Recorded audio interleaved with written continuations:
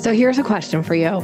Would you benefit from ongoing support to improve your sales conversations and ultimately close more business? The Sales Maven Society offers you daily support for your urgent sales questions, an extensive library of bite sized trainings to hone your selling skills, and monthly live coaching calls where you receive individualized coaching from me specific to your business so that you're able to remove any bottlenecks in your sales process. This is the most robust sales coaching program around for an incredible value of only $147 a month. And you can join now for your first month for only $47. You get access to absolutely everything, including the live coaching calls with me. Come check it out and see if this is the place for you to really elevate your business to the next level. You can do this by going to yoursalesmaven.com forward slash society, hit the join now button. And then when it takes you to that page, enter this code the number four, the number seven, and the word trial, T R I A L. So 47 trial, all one word, and you'll be a member. I can't wait to see you in there. Now, here's the podcast.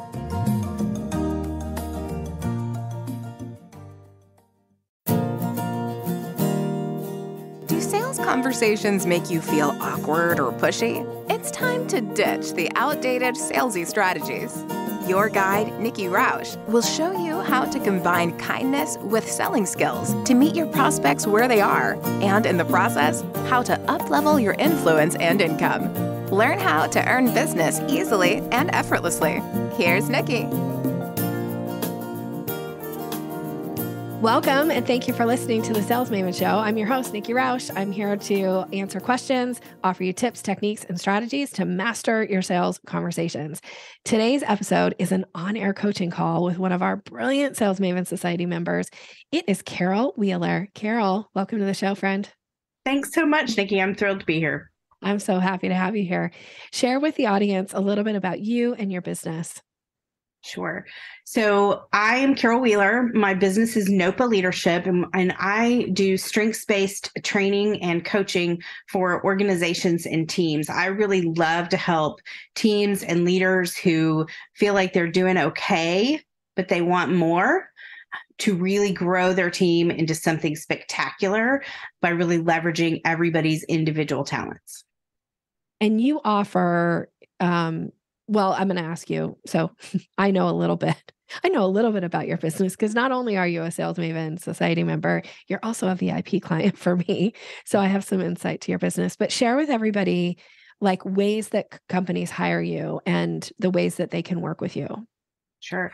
So, most often companies start by hiring me to do some sort of workshop or training. So, I do a lot of um, strengths training. I'm a Gallup certified strengths coach. And so mm-hmm. a lot of times when a company starts with me, they want to do an all day retreat or an all day workshop where they really discover everybody's talents, understand what those strengths are, and start to figure out how to um, map those strengths to work better together and provide more collaboration, more engagement, all those kind of things. Um, that is most often people start there. Um, sometimes companies start with a lunch and learn. Mm-hmm. So they're just interested. You know, so many companies these days are really trying to pour into their people. And so they're setting up these, you know, hour or 90 minute lunch and learns on Zoom or in person to just give people a little nugget. So a lot of companies start there with me. Um, and then occasionally leaders will start with me by hiring me to do executive coaching. I just read a stat the other day, and I'm wondering if you are familiar with it or maybe you have some other stats. But I read this stat that said um, companies that invest in their employees' personal development or professional development, um, on average, increase their profits by 24%. Yeah. I was like, if that is an incentive enough for a company to be like, yes, we're going to invest in our people, and specifically about strengths. So I, I'm trying to think if I've done the strengths finders. I feel like maybe I did years and years and years ago, but share a little bit about it for people who maybe aren't as familiar with it. Sure. And mostly sure. for me too. sure. So, you know, there's lots of assessments out there. Yeah. Um, but Strengths Finder, now called Clifton Strengths, it was called Strengths Finder for a really long time, but they Okay. renamed it after Don Clifton, who created the assessment.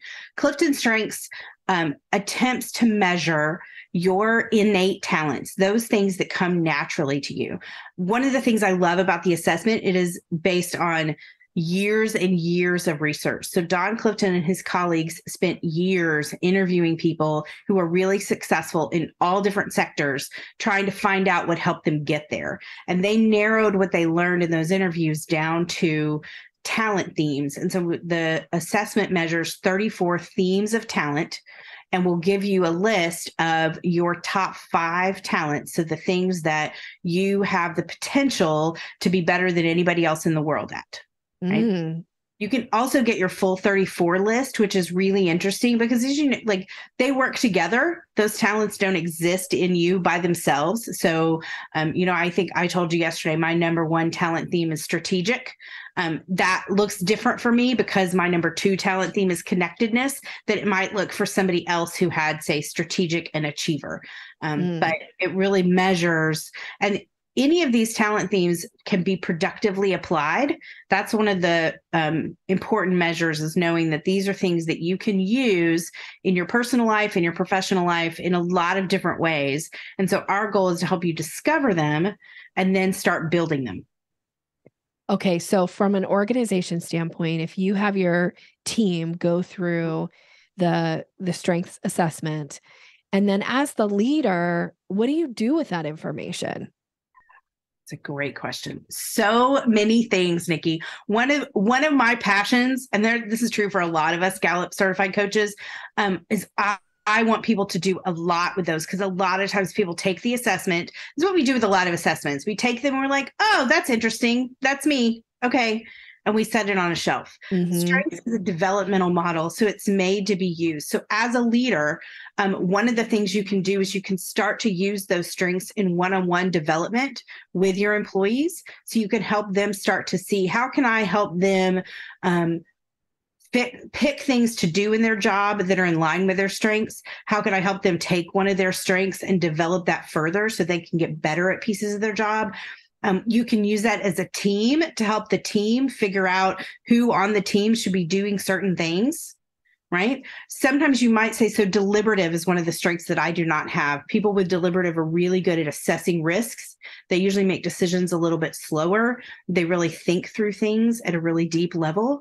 So if i have somebody with deliberative in the room and i'm the leader one of the best things i can do is say hey bob what is your deliberative saying about this issue right what risks are you seeing that i'm missing Oh, that's so powerful. I definitely don't think that's one of my strengths. So I love that. I love that you brought that one up specifically. And that is so important to be able to have a team where you utilize people's strengths and then are able to call on people to get their like what like you said what is what is this saying to you? What risks are coming up that i haven't thought about yet? I think that's such a great question as a leader to be willing to ask that of your team and to know who's the right person to ask it of. Absolutely. The other thing I love to do with strengths, I strengths is a safe way to address conflict on a team. oh say more about that. So a lot of times when a team is having a lot of conflict, sometimes if that conflict is substantive, it's coming, it's not just emotional because we don't like each other, but it's like coming from we're tug of warring with ideas and we don't agree about certain things. A lot of times strengths can help us see where that's coming from. Right. So I said I strategic is a really fast thinking strength. If I'm trying to make a decision with somebody with deliberative, um, and I'm not paying attention, I can get real frustrated because they're moving real slow and they get real frustrated with me because they think I'm not actually considering all the issues in the situation. Um, Mhm. and that can eventually lead to a conflict that all of a sudden we think we don't like each other and can't work together. But talking through the strengths of that can help people see where the conflict is and sometimes put it in um, in a framework that isn't about you're wrong and I'm right, or I don't like the way you're doing this, but here's where this comes from and how it contributes to our team. That is so powerful. Ooh, yes. Okay, and then what size teams are you typically working with? Is there is there a certain size team or tell me more about that too? Um, I love to work with teams from about eight to 15. Okay. I've worked with a lot of different size teams, um, but when we can do one on one strengths work where we're helping people individually understand their strengths in big groups, you know, up to two or 300, because everybody's kind of processing for themselves. But Mm-hmm. with a team, what I like to do with a team is really, uh, it's facilitation, almost more like team coaching. So, in that, a group of eight to 15 that works together on a regular basis that really relies on each other, that's Mhm. where you can do some of that deeper work, like what I was describing with conflict. And if somebody is wondering right now, like is curious about their own strengths and they've never taken a strengths um, assessment, is there a way to do that with you specifically, or is it something you'd send them somewhere else? Yeah, absolutely. Um, you can get the assessment online at gallup.com.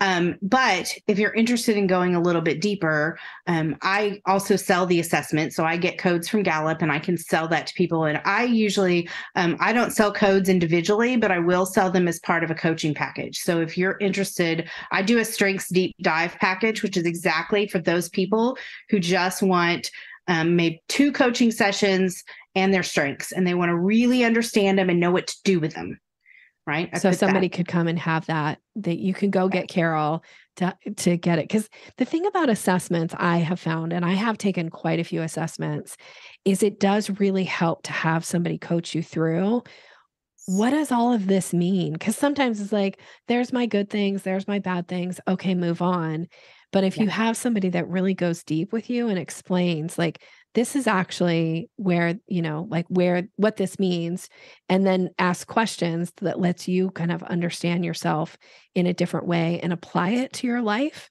and your business i feel like that is definitely the way to go I agree. I'm really passionate about, it. and I know you know a lot of business businesses will like jump from assessment to assessment. Um, Mhm. I think strengths is one of the best, but but honestly, I think for for teams and individuals, you're better off taking an assessment and digging really really deep into it and really understanding it and using it to develop and to assess your goals and to look at all sorts of different things. Um, kind of get everything you can out of that, Mhm. right? Rather than just doing four different assessments. yeah squeeze all the juice out of that fruit Exactly. Exactly. and as a team, you can develop common language. Like it could give you common language, Mm. right? So then you can easily refer back to it. And that that's when it really starts to become really powerful in an organization. Yeah, yeah, I love that. All right, so how can I serve you today? What would be useful for you? I love it. So, you know, one of the things that I have been trying to figure out in my business is um, who really is my ideal client. I would love to sort of niche down to maybe an industry or Yeah. I love everybody and I love working with lots of people and I have a background in higher ed and I have some corporate clients and lots of different things. So my goal for the rest of 2023 is to see how many workshops and lunch and learns and retreats I can do with as many different types of organizations as I can so that I can start to kind of figure that out. I've kind of figured I, I can't just decide that randomly would Mhm. like to. Um, so sometimes I will focus on long term work with clients, but for the, the rest of this year, I really want to work on lunch and learns retreats and workshops with as many different clients as I can. Um, most of my clients right now are local to me. Um, Mhm. and I do a lot of in person stuff, but I also really love doing virtual workshops. So, really, my question for you is how can I sort of start selling more, get a broader reach? Mm. Well, one of the things that I would encourage you to do is look at who who have been clients so far, right? Like attracts like. So look at your roster of clients. What industries are they in? And then are there like I, I feel like for one of your clients, I'm thinking, I feel like they have multiple offices. I could be wrong. Yeah. So, can you work your contact to introduce you to the other office? Because then you get to ride the coattails, right, of the the office that you've already done work for, who will already shout, you know, from the rooftops how amazing you are, and see if you can open the door there. And then if that doesn't, you know, if that doesn't turn into something, you might if that's an industry or that's a a client that you really enjoyed, I would go either I would go this way. What are other like companies similar to this that I could reach out to and and talk about, you know, I've done this work for a similar type company and here's how they're using it. And then is this something you guys would be open to discussing? Right. I think that makes sense. Or you could look at what are complementary um, businesses to that business that you've worked with because they have vendors, they have, you know, right. they have other businesses that they're working with. And so you can still use them to make introductions to other types of business. And what you might find is, oh, I really enjoy working with this type of client and then i think that is going to help you figure out like what really is your your niche and and wow. start to to figure it out from there because i i mean i know right from doing a lot of corporate work there are certain corporate clients that i enjoy working with and there are other corporate clients where i'm like uh, not my favorite right. right and so it does help me figure out from a from a standpoint of who would i target so i would start there okay yeah one of the things that makes me think about is that you know i think one of the things that some of the clients that I've enjoyed working with the most have in common is that their people are helpers. Okay. People like to serve other people, right? Okay. And I'm, it's interesting because I had not thought about that. And and so I've done some work in the financial sector, multiple different teams. There was one team that that was really their ethos, and I really loved working with them. There were some other because that's not necessarily like that's not common necessarily in that industry per Got se, it. right? But okay. that was very true for that team.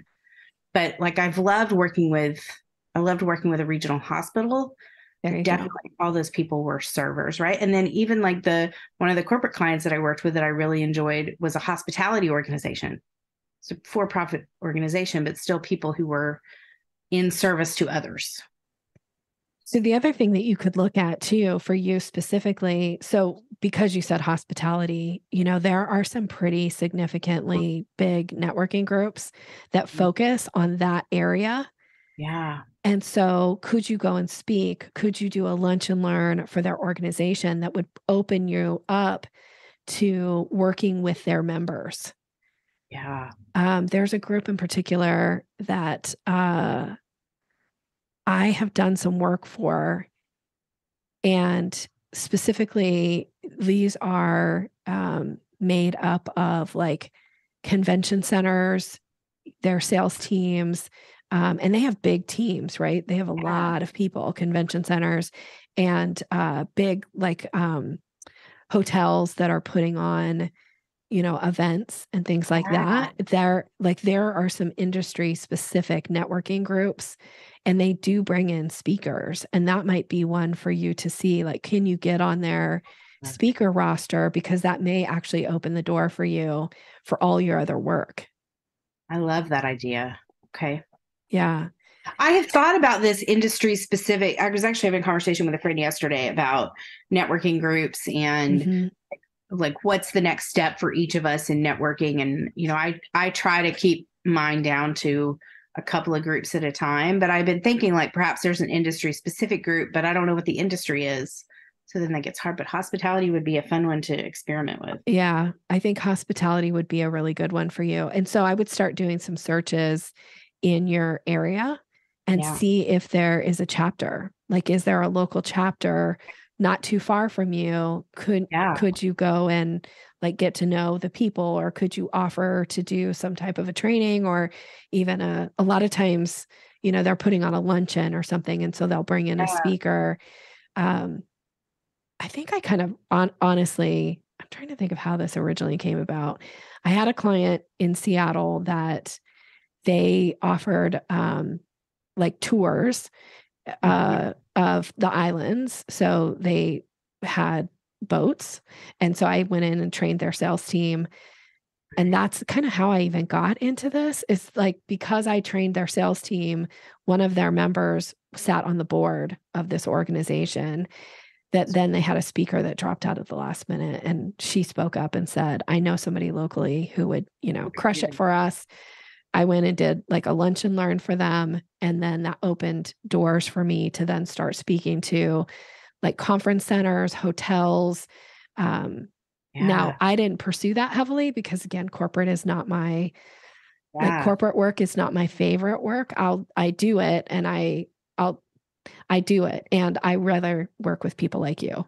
like that's my preference is I love working with, you know, yeah. women business owners, um, specifically entrepreneurs. So yeah, I think that would be a really good avenue for you if you know that hospitality and and then you could kind of start to figure out, right? Like is this really or do you go down the healthcare route? Right. Because my guess is there are industry specific conferences, industry specific um, networking organizations or associations that are affiliated with healthcare. Yeah. Well, in the two healthcare organizations that I have worked with, both um, have had some unique needs coming out of COVID, right? Mm. That really make them need to pour into their people, right? Like two years ago, it was, we were really still in it, right? And the hospital that I started working with then was really they just needed some to be re-energized right they mm. were exhausted and burned out yeah um, and the organization that i'm actually working with later this week um, they basically said we have spent the last three years um, having to focus on compliance and making sure all the rules were in place and we don't even know that our leadership team is as focused on the need we don't think our leadership team is focused on the needs of our people anymore because we've been so rule based Oh, so interesting. Right. Which I think is a really interesting and probably a need across healthcare right now. That to me says, Carol, we need to get some, we need to get some articles like about this that you've written, or we need to get some video, or we need to get yeah. maybe, maybe there's even like a lunch and learn that you're putting on that we could change the name of the lunch and learn okay. and have it target that topic in particular. I like that.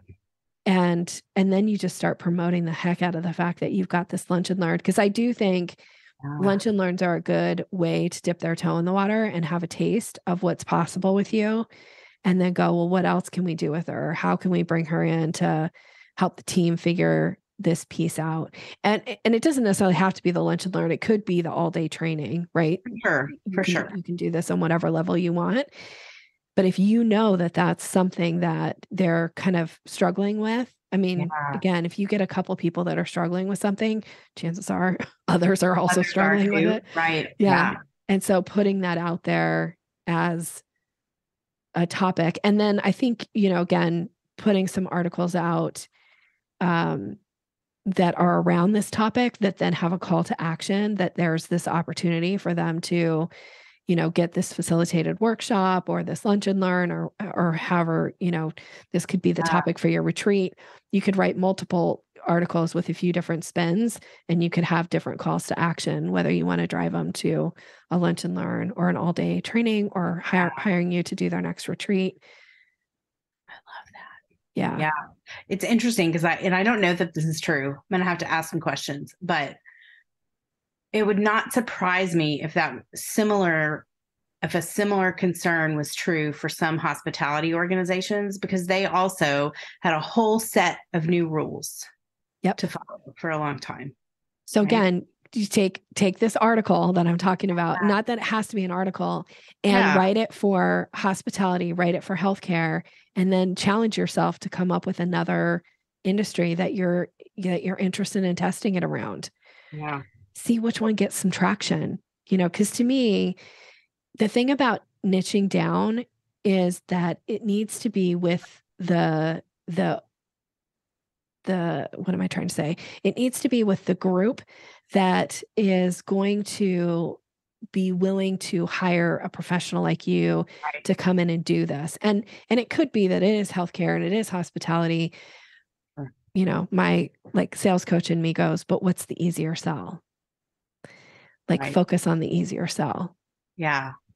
Unless you don't enjoy that group, but you're saying right. I do enjoy this group. Yeah. So focus yeah. on the low hanging fruit because then it's easier to build other, yeah. you know, once the once the like it's rolling and it's easy and you're like, I got this, I could do this all day Yeah. long in my sleep almost, then you can start to explore other things. But I do think always go for low hanging fruit when it comes to getting like get the money in the door, Yeah. get the clients in the door because the experience that you get from delivering the trainings builds your confidence. It helps you elevate, raise your pricing. All of these things come Yeah. as a result of selling whatever it is that you're going to sell. Right. Right. I love that. Okay. Okay. Work on an article. I'm work on thinking of one more industry that might have similar concerns. I don't think that'll be hard. I don't have Okay. a thought off the top of my head, but I yeah. We we can uh you and I can brainstorm this over Voxer. You got it. Okay. All right. So as we wrap up today, thank you so much for coming on and allowing this opportunity. Um, I always have two last questions. One is, what is one benefit you've received from being in the Sales Maven Society, if you're willing to share? Sure, absolutely. I think um, you know, I'm a pretty quiet member, but I do a lot of reading in the Sales Maven Society. And um, I think one of the things that has happened over time is the more I read you editing other people's stuff and the more I read posts, the more some of that, like your um language starts to just come second nature right? I read something the other day that somebody else had written for me for um, a post and it was it had it had like five i statements and my initial reaction without even knowing why was this is terrible and then i reread it and i was like oh that's because it has all these i statements and you know nikki tells us this that this that doesn't you know generate interest from other people. Anyway i think that the longer i've been there the more i read the more it just starts to kind of sink in. Um, it's also just a beautiful community and you are so incredibly active. I think people don't you know i've been in a lot of coaching groups over the years and many times you don't really have that much access to the coach who is selling the group and that is not at all true with you like you are so active in there and it's just it's beautiful to know that we that you will be answering our questions yourself Thank you. Thank you. And I love that this is like you're absorbing this and that you're like, okay, my first, you know, I read it and I go, I don't like this. And then, okay, why don't I like it? And that you're able to identify like these are the things that are causing this to not resonate with me. So, oh, that makes me so happy. All right. Last question is what is the best way for people to get in touch with you? Sure. Um, the best way to find me right now is really on LinkedIn, right? LinkedIn, I am Carol Wheeler or Carol McBride Wheeler, which is my maiden name. Um, you can find me on there. I post quite a bit. I do some videos on there. I love to talk to people in the in the DM. So you can certainly go to my website, nopaleadership.com, but LinkedIn, I would love if you are listening to this, um, go connect with me on LinkedIn. Tell Nikki and I that you listened to the podcast and um, what you thought. Yeah, for sure. Carol is definitely somebody that you will benefit from knowing. She's a brilliant, lovely, genuine, and super smart woman. So I encourage everybody to connect with her. And thank you so much for being here. I appreciate you. I appreciate you as a person. I appreciate you as a client. You're a delight to work with. So thanks for being here. You're so welcome. It was a delight to do it. Okay. Thank you. And for you, the listener, thank you so much for being here. Really appreciate you showing up, listening each week, sharing the episodes, commenting on the episodes. I am so delighted when people share their biggest takeaway or their aha from an episode. So if you have one, please reach out to me. You can find me on social media. I tend to hang out on LinkedIn as well and also on Instagram. And I am on Facebook, but only for the Sales Maven Society members. So if you're not a member yet, come join us. The community is beautiful. It's filled with amazing people. And uh, Carol is right. I am very active in that group. So you get a lot of me in there. So thank you so much for being here. Have a great rest of your day. Thanks for listening to Sales Maven. Visit us online at yoursalesmaven.com slash maven for more resources to boost your confidence and skills.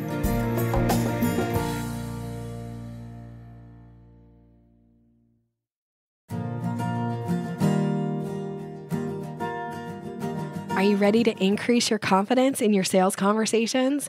I have a gift for you that is going to show you exactly how to do that. It is my Closing the Sale ebook. It's all about leveling up your confidence, giving you language to use, how to seamlessly move somebody through the sales process. And you can get it right now by going to yoursalesmaven.com forward slash maven. Go grab it.